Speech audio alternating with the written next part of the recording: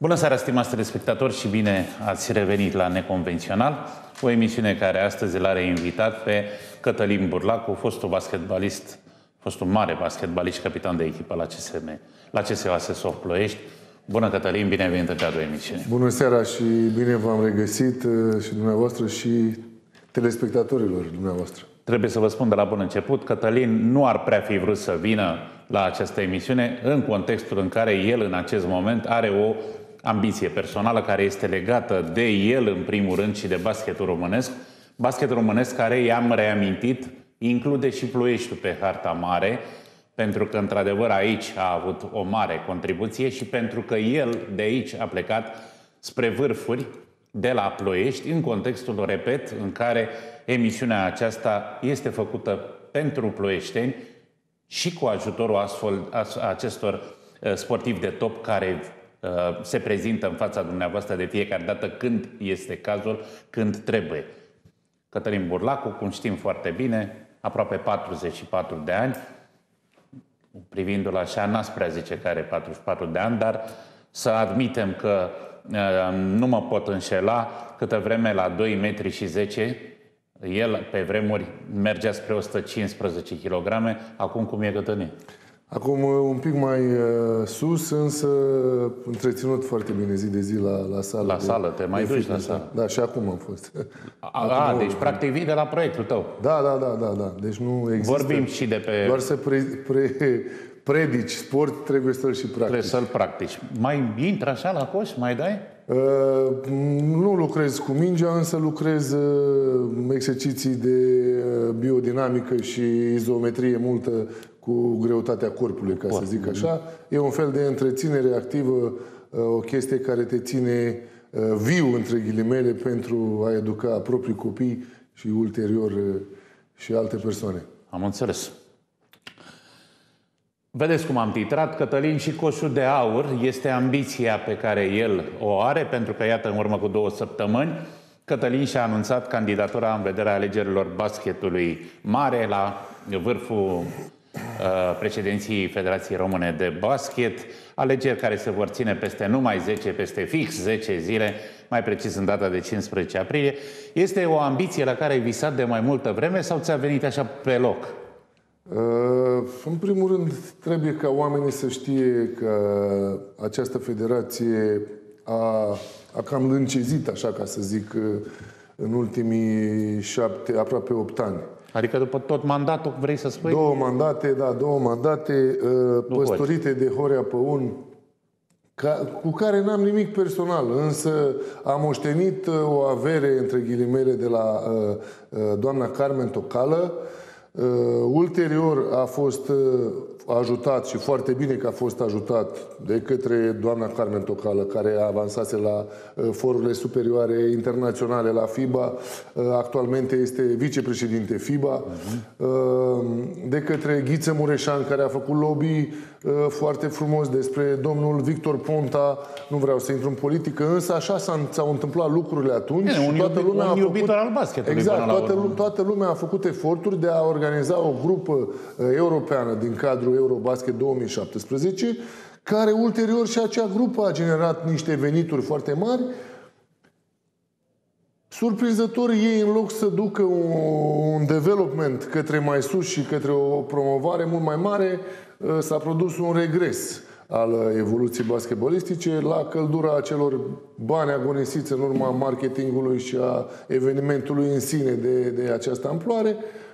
Iar acum suntem într-un impas uh, neavând nici competiții de junior, neavând de, fix sub această egidă de pandemie în care eu nu pot să înțeleg chestia asta, să, să blochez uh, Uh, atât de mult basketul încât să ajung în sport ca obiectiv să am reducerea abandonului performanțial și să uh, încerc din nou să atrag uh, copiii către basket, adică practic să pornești de la zero într-o chestie care trebuia doar să o întreții și să împingi pe alocuri unde trebuie corectat. Unde găsește aici că este o imoralitate treaba, treaba asta?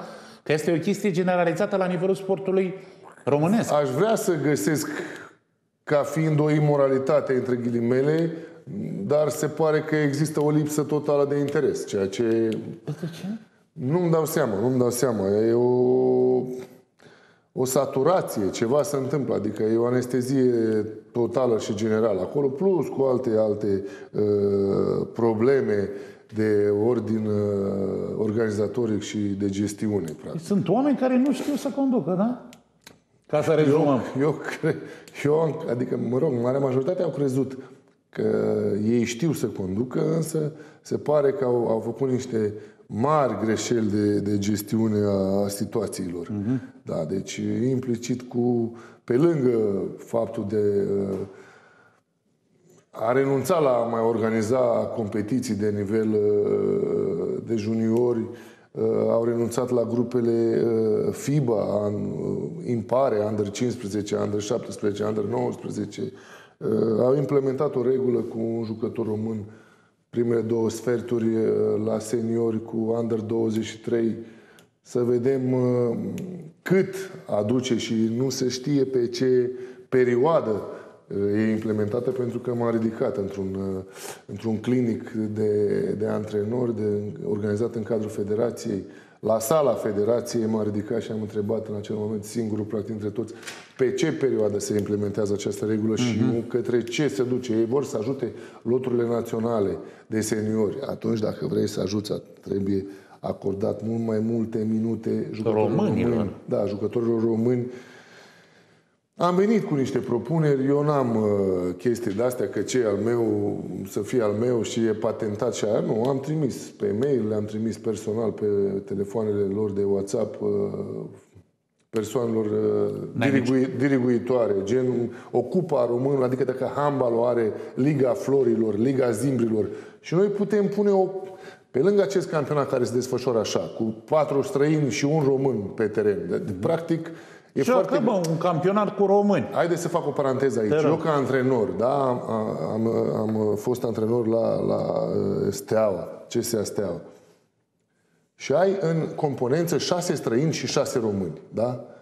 În moment ce tu ai patru străini pe parchet și doar un român pe perioada timpului de joc, asta înseamnă că tu împarți uh, patru posturi la șase străini și un post la șase români. Automat românul va avea minute Puține. infinit mai mici. Logic. Și lipsă de, de a se uh, arăta și de a-și uh, de a avea o continuitate. Când să crească? Cum n-are, să crească? N-are, uh, nici, nici cel uh, consacrat n-are cum să evolueze și să arate ceea ce poate arăta pe teren. Deci nu să se arate el cât de bun el. Doar ce poate. Pentru Corect. ce l-ai, l-ai uh, introdus în, în, în angrenaj și ceilalți străini mult mai relaxată pentru că e mult mai ușor să rotești alți doi de pe bancă în cei patru care ai pe teren. Auzi, dar te rog frumos, spune și mie, de ce suntem atât de supărați cu toții că nu avem echipa națională de basket dacă pentru... se mizează pe uh, fotbalul ăsta cu străini? Uh, scuză-mă, cu basketul ăsta cu străini? Da, asta e gândirea, adică trebuie să faci ceva. Am închis paranteza și vin înapoi să spun că am propus să se întâmple o cupă care să o denumească cum vor ei, a românului, a românașului, în care să fie viceversa, patru români pe teren și un, și străin. un străin. În același timp, da, paralel cu meciurile de campionat, să joci cupa. Știu că e greu, știu că implică costuri, însă fără costuri nu vei putea avea o evoluție de la acei români care sunt eligibili în acest moment. Asta e o soluție, poate pansament, dacă vreți, sau de criză, sau provizorie, sau ceva implementat repede, în care nu să joci două meciuri tur retur și un Final 8 sau un Final 4. Și gata. Trebuie să joci 4, 5, 6 turnee să-i chinui în mijlocul săptămânii, pentru că foarte multe echipe nu joacă cupe europene, să zici că ce ocupați sunt ei da, și da. ce uh, jucătorului, da. vă spun din propria experiență, pentru că am jucat niște ani până la 40 pe teren, jucătorului îi place cu meciurile, cu joaca, nu cu antrenamente infinite în care trebuie să treacă o săptămână până la meci. Din nou, după meci, trebuie să lași sâmbătă. Dacă joci sâmbătă, trebuie să lași duminică, luni, să începi ca iarăși încă șapte zile să o iei de la început. La început, cu școala alergării, cu individualizare, cu uh, practic și capul să-l ții setat la, la basket. Și așa am venit cu o soluție pansament, această cupă. Nu e bună această cupă. Vin cu soluția reală pe care o am și în programul meu investit de la copii de 8 ani, 9 ani și 10 ani. În două cicluri olimpice, adică două seturi de 4 ani, în care tu ai 200 de subiecti care îi monitorizezi continuu, împărțit în două, trei sau patru centre, dacă poți să faci acest, acest lucru în, în țară, unde să-i, ca pe timpuri, efectiv, să-i aduci la școală, să-i implementezi la școală, să le faci orele de, de uh, studii, orele de sport, orele de odihnă, masă la cantină, pentru că altfel nu se poate. Nu se poate, s-a dovedit. Același model au performat și francezii, același model au performat și turcii. Acela... În, în an, vorbesc în anii 2000, când au pornit cu toții. Noi avem 20 de ani în urmă. Noi, din păcate, nici acum nu vrem să îmbrățișăm acest... De ce nu vrem? O iau cu capul. De ce nu vrem? Adică dacă vedem că acolo merge, dar ce e mai talentați ca noi sau cum? Un program uh, nu e simplu. Într-adevăr, ă, îți trebuie oameni de specialitate, îți trebuie să specializezi antrenorii de loturi naționale, pentru că nu poți spune, da, într-adevăr, îi ajuți pe niște antrenori propunându-i la un under 15, la un under 17, la un, nu știu, under 20, la o universiadă, la Așa. universitare. Dar și acel antrenor trebuie, să, trebuie să te ajutat să înțeleagă unele aspecte, să înțeleagă basketul modern, să înțeleagă anumite uh, uh, etape ale, ale meciului, în timpul meciului. Ce să, cum să conducă un meci, ce așteptări are de la un meci, cum să pregătească un meci înainte de a...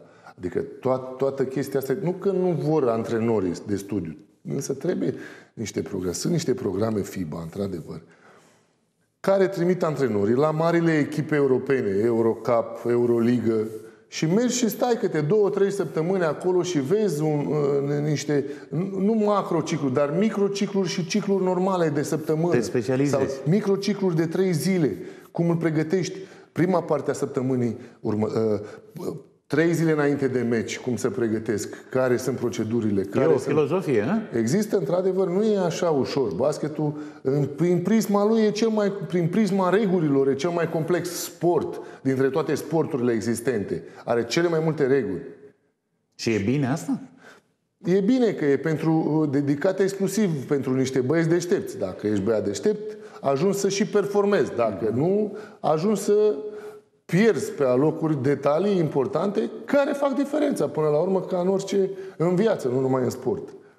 Hai, vorbește-ne un pic despre programul tău ăsta. Da, aș vrea să uh, înțeleagă lumea că în, uh, în uh, orice, ca și în sport, ca și în sportul în sine, uh, orice se bazează pe echipă. Nu se poate să existe un om care să le știe pe toate. Că nu a existat de-a lungul istoriei. S-au arătat oameni care au fost deștepți și care au crezut că le știu, însă istoria a arătat și reversul. Da. Eu mă bazez pe echipă, adică cine e pe partea de marketing să fie pe partea de marketing și expunere, să arate că într-adevăr ce vrem. Transparență, nu mai vorbesc, nu există transparență, nu există uh, uh, transparență în, în luarea de decizii a ceea ce se întâmplă la federație, în gestiunea, uh, descărcările de gestiune pe care le a. Uh, nu mai zic Din 280 de membri afiliați care au votat odată la patru ani timpuri de dinainte, acum s-au folosit de niște tertipluri, au băgat niște reguli, reguli în care s-a redus numărul votanților la 100, 100 și un pic, 117 sau... Nici acum nu știm exact. Unii dintre candidați au cerut oficial Federației Române de, de Basket lista completă a, a membrilor afiliați cu drept de vot, să ved, nu să vor să dea? N-au dat absolut de ce? nimic. Au mers mai sus, la, uh, invocând o ordonanță președințială prin care cer președintelui de tribunal să oblige Federația Română de Basket să scoată. Pentru că vii să ceri pe o lege 544 în care uh, își arogă 30 de zile să-ți dea răspuns. Ulterior va, trec, va trece acele 15, vor trece 15 zile până la data de uh, 15, alegeri. Când tu mai ai 10 zile. Da, da, da. Deci nu prea avem mult timp. Acum pe nou așteptăm uh, un răspuns exact cu aceste cluburi. Uh, unic dintre candidați uh, au, uh, au și fost prin țară. Am preferat să vorbesc mult la telefon pentru că deja uh, trebuie să știe lumea, sunt, suntem uh, șase candidați uh, Da, la mi-am acest notat uh, și eu. portofoliu. Carmen Tocală, Svetlana Drăgușin, Ștefan Sândulache, Virgil Stănescu, Adrian Voinescu și cu tine. Și subsemnatul, da. Uh, Este un semnal de alarmă, este un semnal, nu de alarmă, este un semnal clar, uh, odată ce noi am venit uh, către aceste alegeri, că se vrea, se dorește o schimbare. Uh, Păi, dar cine nu dorește? Cei din federație care au creat ei așa o mică castă și vă dați seama că încearcă să-și Le e greu să păstorească. piardă. Să-și piardă Probabil, nu locurile. e ușor să, să piardă. Din discuții ei par relaxați, însă nu știu, vom vedea ce, ce se va întâmpla. Tu te bazezi în acest moment pe sprijinul unora? Crezi sau știi ceva? Da, mă bazez pe, pe unii oameni care uh, sunt membri afiliați cu drept de vot, care și ei uh, își doresc uh, O schimbare. o schimbare.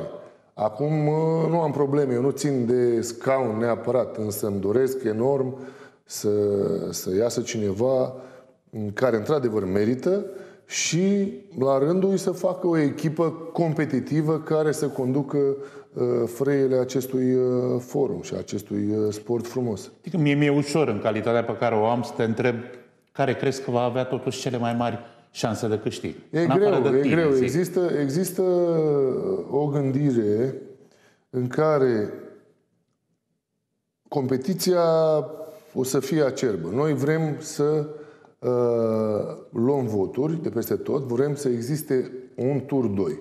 Uh-huh. Și în acel tur 2 vor exista două ore de, de pauză între turul 1 și turul 2, în care vor uh, interveni acele negocieri, ca să spunem, uh-huh. și către cine ne vom îndrepta uh, dintre cei doi Ce candidați. înseamnă negociere? Uite, suntem în astea două ore și ai venit tu cu mine. Da, trebuie să vezi pe cine susții Așa. și care e ideologia și ce se vrea mai departe. Păi pare, pare să știe cam care ar fi. Pare să se știe, da. O să vedem la momentul acela despre ce, despre ce Se vorbim, negociază despre și ce post- candidați vorbim în primul rând. Se negociază și posturi la momentul ăla? Nu știu să zic exact, însă uh, ca și echipă, cred că se va contura o echipă, totuși. Da? În moment ce uh, eu voi fi nevoit să-mi îndrum uh, alegătorii mei și Către- adepții, către un alt Mai can- bine plasat. către un candidat da, care va fi într-o poziție mult mai bună automat dacă merge în turul 2 și atunci sau poate să meargă alți doi Dar candidați. dacă vorbim de meritoriu, cine ar trebui să fie aici pe valoare? În afară de tine vorbesc. Pe valoare, Carmen Tocală, doamna Carmen Tocală, însă ea e uh, membru executiv în bordul FIBA. Uh, FIBA cred că n-ar împlinește vrea anul să- acesta 90 de ani. România este uh, țară uh, fondatoare, deci uh, membru fondator. Uh, N-ar da bine să existe asemenea probleme și Adică să plece de acolo pentru a veni aici. Nu, ea vine să ajute, e clar, a primit și girul forurilor superioare și vom vedea ulterior cum se, va, cum se vor, cum vor evolua problemele. Adică n-ar putea să delege competențe? Poate să delege competențe, poate să m, creeze un alt board, poate să se întâmple, poate să poate întâmpla o sumedenie de, de lucruri, însă trebuie să ajungem acolo să vedem care sunt pașii. Pași. Mai ai ceva acolo? Că văd că ai venit cu Am, câteva am multe, cărți. am multe lucruri. Ia zi și mie. Așa ca... Uh, aș structura un pic și uh, clasa de arbitraj care, uh, cu care ne uh, afișăm din România. Adică aș încerca mult mai mult să împingem uh, tinerii către, către un nivel superior, către un nivel european. Uh, Am dis- văzut câteva categorii elegante. de- Urmăresc. Tinerii, așa. Da, da, Urmăresc da, da, fenomenul exact. și îmi place. Eu urmăresc mult meciurile internaționale și mă bucur să văd uh, tineri din, din Cehia, din Turcia, din Italia, care uh, Sunt promovați. surprinzător sau nu, credeți-mă, au mai multe meciuri internaționale decât meciuri naționale din, din țările lor de proveniență. Adică atât de bine sunt văzuți. Sunt văzuți, sunt încurajați, sunt educați pe această parte Mhm. și își dau seama și ei cât de mult Contează. îi va ajuta această investiție în ei, pentru că sunt programe FIBA, dar tu trebuie să fii într-atât de serios încât să renunți la multe, ca în orice mare performanță trebuie să renunți, într-adevăr, la multe chestii din, din ceea ce cu toții tragem să avem cât mai aproape de noi. Auzi, tu ca sportiv ai renunțat la ceva? Da, eu am renunțat la tot. Ce înseamnă tot? Înseamnă să n-ai mamă, să n-ai tată, să n-ai prieteni, să n-ai prietenă,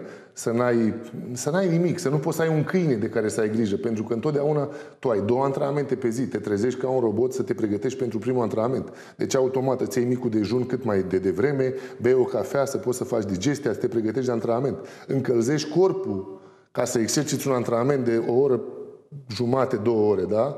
De 90 de minute, 120 de minute. Răcești corpul, automat mergi la masa de prânz, să te odihnești pentru al doilea antrenament ce stă să înceapă undeva la seara, pe la ora 7. Da? Termin la 9, același procedeu, termin la, la, am dormit la prânz toată viața mea. N-am putut să am familie, pentru că nu poți să ai familie cu cineva, cu ispită lângă tine, cu toate chestiile Corect. astea hormonale, să știți. Corect. Am fost maniac. Nu serveam alcool, nu, întreprinz, nu întreprindeam nimic uh, în ceea ce mă privește. Dar la 35 de ani mi-am spus, dacă mă ajută Dumnezeu să ajung la 35 de ani sănătos, să pot să îmi construiesc către viitor, să întrâng niște bănuți, atunci voi face familie cu siguranță. Și așa s-a și întâmplat. Și de la 35 la... Așa a fost gândirea ta de la ce vârstă? Da, de la foarte început, pentru că am plecat la 16 ani de acasă cu două genți de haine second hand, 16 ore cu trenul de la Iași la Arad, în care m-am gândit la viața mea înainte și înapoi de 3-4 ori, că n-avea ce să faci, aveam un Walkman căruia se termina bateriile după o oră. Și ascultam casetă cu 3 sud-est. Mare lucru. Nu puteai să faci pe trenurile de atunci. Copilării, da. Da, da. Și atunci, la 16 ani, nu prea ai uh, nu prea aveam multe opțiuni. O Dar carte... aveai totuși o geantă plină de Aveam ambiție. o geantă de prim, da, da, da, da, efectiv. O geantă goală plină de ambiție, practic, în care atunci eh, am început la Iași cu Dragan Petricevici, antrenor, și am continuat ulterior la Vest Petromarad. Tot cu el? Tot cu el, da, da, da, da. da. Minune! Era cam printre cei mai reprezentativi și uh, un antrenor foarte bun la acea vreme de individualizare, care am crescut ușor, ușor cu el și a crescut odată cu ambițiile mele, pentru că fără tine, ca și persoană implicată în sport, nu, nu poți să reușești. Părea a fi bun și pe relaționare și între voi, așa, nu știu, să băga, avea el un fel la fi. Vă dați seama, a construit o echipă la Arad în care cel mai bătrân... O echipă doi, campioană o echipă care patru ani a jucat patru finale, două câștigate, două pierdute, meciul decisiv, uh-huh. în care cei mai în vârstă erau uh, Atila Vereș, 26 de ani, și Milia Marianovici, 26 de ani. Uh, subsemnatul avea, nu știu, 20 de ani, Rareș Apostol 20, Levente Siarto 17 și alți copii din Arad. Mamă, mamă. Adică... Dar de unde va găsi, mă?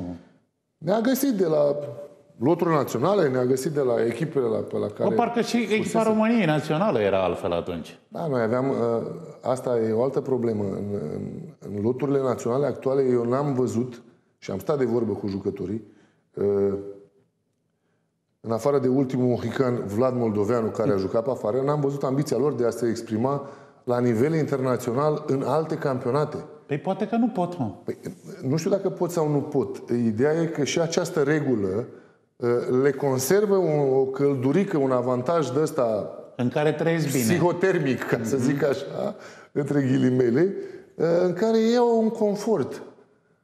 Sunt de acord să dai șansă românului, însă și românul trebuie să producă basket la nivel de măcar de cerințe, dacă nu la acelor străini care, care vin în campionat. Pentru că trebuie să menționăm, sunt străini foarte buni care evoluează. Unii nu sunt atât de valoroși. Aduci la grămadă, da? Mm, depinde de managementul fiecare echipe, pentru și că trebuie bani, să... Da. Exact, trebuie să știm că se alocă niște sume mai mici sau mai mari din uh, spațiu public, din spațiu privat și managementul e local cum e, însă e îmbucurător atunci când există. E, e supărător când bine, nu există. Bine că e ceva. E bine, da, e bine intenționat când există, credeți-mă. Adică Miercurea Ciuc, unde pentru ei sublimul e hockey, altceva nu Ulterior ai. fotbalul? Ulterior fotbalul, au basket. La nivel reprezentativ în prima ligă. Și fete și băieți? La prima ligă. Sepsi Sfântul Gheorghe au sală nou nouță.